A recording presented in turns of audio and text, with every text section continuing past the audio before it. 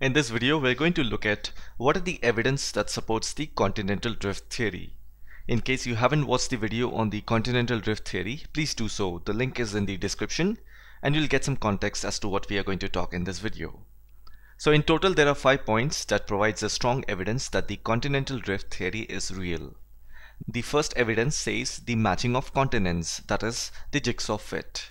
You know what is a jigsaw puzzle, right? A big picture is cut into various pieces of different shapes that have to be fitted together. Similarly, if you look at the shorelines of Africa and South America facing each other, and if I bring them together, they are a good match.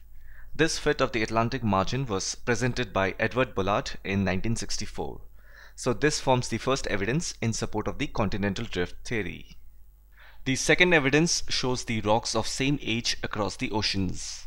Scientists around the globe have tested rocks at various places by a method called radiometric dating. Radiometric dating is a technique used to date materials such as rocks or carbon. So after using this technique, they came to a conclusion that all the rocks from different continents have a correlation. For example, the belt of ancient rocks of 2000 million years from Brazil coast matches with those from Western Africa. Then it also suggests that the marine deposits in the region is from the Jurassic era. Jurassic era is the second phase of Mesozoic era, where the reptiles rule the continents. And this forms the second evidence in support of the continental drift theory. The third evidence is tillite. Tillite is the sedimentary rock formed out of deposits of glaciers. Mostly you'll find them in colder regions. They look something like this. So the Gondwana land, which is the southern part of the initial Pangaea landmass, is known to have broken into six different landmasses. They are Africa, Falkland Island, Madagascar, India, Antarctica and Australia. Now at the base of all these landmasses, tillite have been found, which proves the fact that all these six landmasses have similar histories. Since it is not possible to go back in time to see what climates were like, scientists use imprints like these that are created during past climate to come to a conclusion that continents are really drifting away. Oh by the way, just a quick info, Paleoclimatology is the study of past climates. Therefore, tillites forms the third evidence in support of the continental drift theory. The fourth evidence is placer deposits.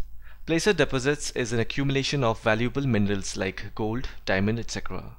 If you look at Ghana, the Ghana coast is rich in placer deposits of gold. Usually gold is extracted from rocks, but here in Ghana, here gold is found in placer deposits and not in rocks, which is kind of an amazing fact. And if you go to Brazil, the same gold placer deposits are available there as well. Therefore, it is obvious that gold deposits of the Ghana are derived from Brazil Plateau when the two continents lay side by side. And this forms another evidence that supports the continental drift theory. The fifth and the last evidence is distribution of fossils. When identical species of plants and animals are found in different landmasses, that provides a strong evidence that everything once upon a time was a single large landmass. Lemur is one such species that is very famous in Madagascar. Now fossils of this species was also found in India. Though it is said that lemurs originated in Africa, linking these three landmasses you can easily see there is a correlation. Similarly, Mesosaurus is a reptile, it is an extinct species, it is no more available so skeleton of this reptile has been found in regions of southern Africa and South America. Again, it is reinforcing the fact that these two continents were once linked together. So these were all the evidence that speaks in favor of the continental drift theory suggested by Alfred Wegener. These are some notable facts and one must broadly remember them in order to understand the origin of continents and oceans and how it led to the adaptation of animal and plant species, which today is the main reason behind diversity of life. If you want to see more of such educational content, make sure you're subscribed. By doing so, you'll get an alert when my next video comes. Thanks for watching and I'll see you in the next one.